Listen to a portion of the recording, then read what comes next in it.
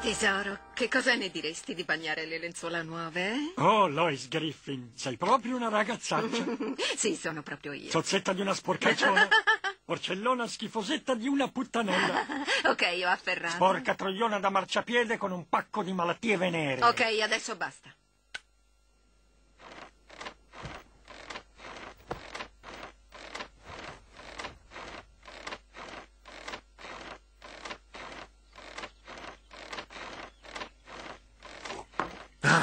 È bello possedere la terra.